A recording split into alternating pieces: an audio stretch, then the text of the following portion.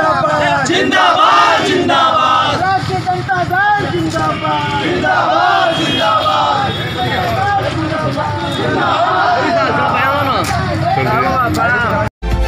आप देख रहे हैं स्वराज भारत लाइव। सच कहने का साहस। कैमूर किसानों की समस्या को लेकर राजद ने दिया जिला मुख्यालय पर एक दिवसीय धरना। केंद्र और बिहार सरकार के खिलाफ जमकर किया नारेबाजी। किसान बिल के विरोध में दिया धरना। धान अधिप्राप्ति फ़सल योजना सहित कई समस्याओं को लेकर केंद्र सरकार पर बोला हमला।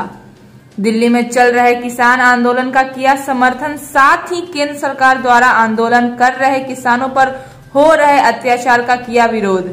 ज़िले के रामगढ़ और भभुआ के राजद विधायक हुए शामिल। आज जो देश में किसान आंदोलन हमारा है, जो भारत सरकार के द्वारा काला कृषि कानून देश में जो लाया गया है, उसके खिलाफ जो देशव्यापी जो आंदोलन है किसानों का, वह राष्ट्रीय जनता दल समर्थन करता है बिहार के भीतर। उसी मुताबिक हम लोग आज भगवा समाहरणालय पर, आज धरने पर बैठे हैं और तकरीबन बिहार के सभी जिला मुख्यालयों पर राष्ट्रीय जनता दल के आज कार्यकर्ता धरना दे रहे हैं। अगर आप लोग मांगे नहीं मांगी तो आगे क्या करिएगा?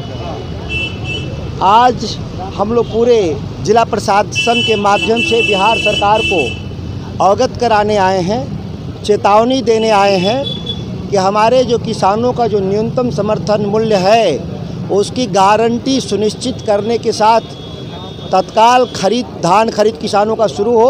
अगर ऐसा करने में नाकामयाब रहते हैं तो आने वाले दस दिनों के भीतर हम लोग विशाल सड़क जाम का कार्यक्रम करेंगे।